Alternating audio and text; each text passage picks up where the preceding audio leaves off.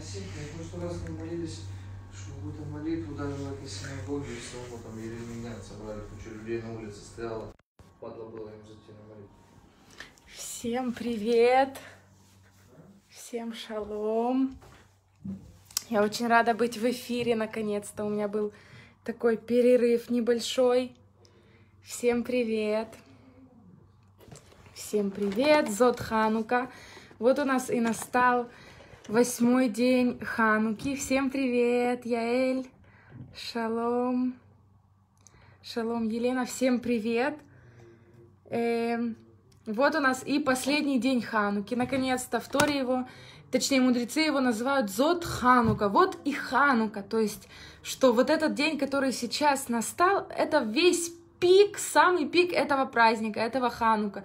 Потому что мы зажгли все восемь свечей, которые мы должны были зажечь, да, мы каждый день прибавляли, прибавляли, и сегодня это самый пик такой, и, св- и вот эта восьмая свеча, это нам как бы должно, да, дать силы на весь, на весь год, чтобы светить, освещать и делать добро.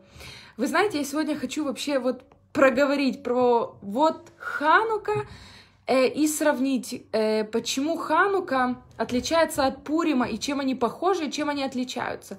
Мы знаем, что и в Хануку, и в Пурим еврейский народ, народ хотели истребить, да, уничтожить, но отличие только в том, что в Пурим э, еврейский народ хотели уничтожить физически, да, хотели просто убить всех, а в Хануку хотели уничтожить еврейский народ именно ведь вот этот дух, да, заставить евреев бросить Тору, не учить Тору, бросить исполнять заповеди, и, в общем, э, хотели полностью убрать у еврейского народа Тору.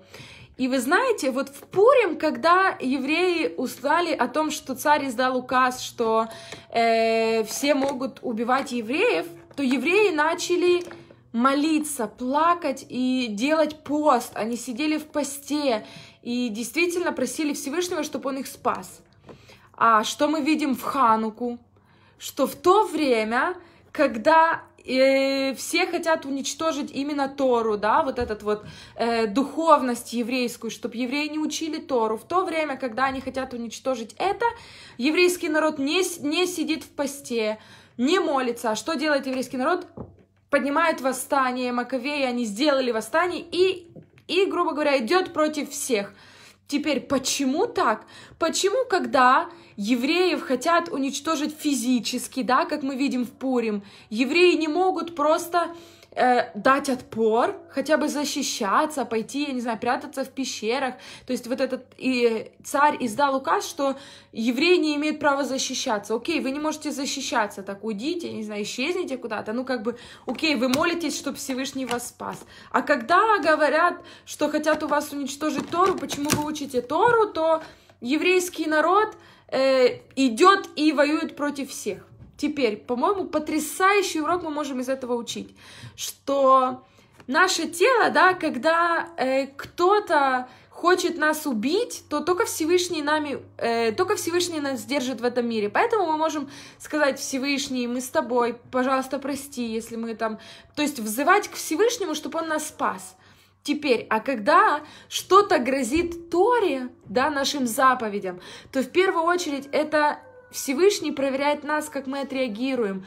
Да, нам нужно обращаться с молитвой ко Всевышнему, но в первую очередь нам надо сказать, никто не имеет права забирать у нас Тору. Никто не имеет права запрещать нам выполнять заповеди. Видите здесь разницу, что когда кто-то хоть на меня, когда кто-то, например, покушается на меня, я молюсь, я говорю, Всевышний, только ты меня держишь в этом мире, я от тебя завишу, окей, но как только кто-то духовно пытается меня уничтожить, говорит мне, не соблюдай Тору, э, там, ты неправильно делаешь, еще что-то, я должна защищать свою Тору, я должна показать в первую очередь Творцу, что я с Торой, ты мне ее доверил, я ее сохраню, я ее сберегу. И вот в этом вот и отличие праздников Хануки и Пурима. Пурим это такой, он духовный очень праздник.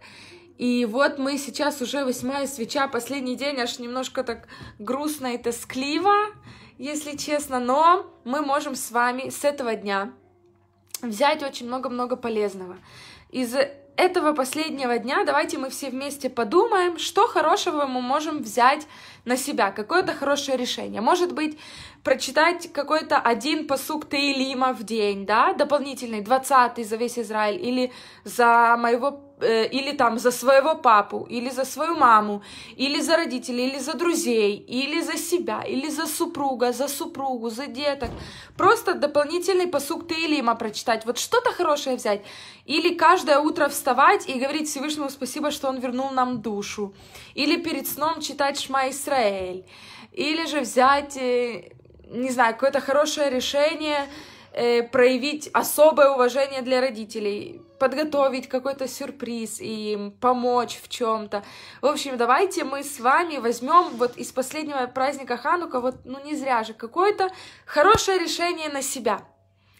И, и, и, и, и я начну первое. Я возьму на себя с уходящим днем Хануки блинедер, я возьму на себя говорить благословение вслух. То есть, если я буду кушать яблоко, то я буду благословение говорить вслух, а не шепотом, чтобы оно прям работало. Вот это я беру хорошее решение на себя. Поэтому давайте каждый, может кто-то напишет, чтобы прям все видели и брали для себя пример, какое-то хорошее решение.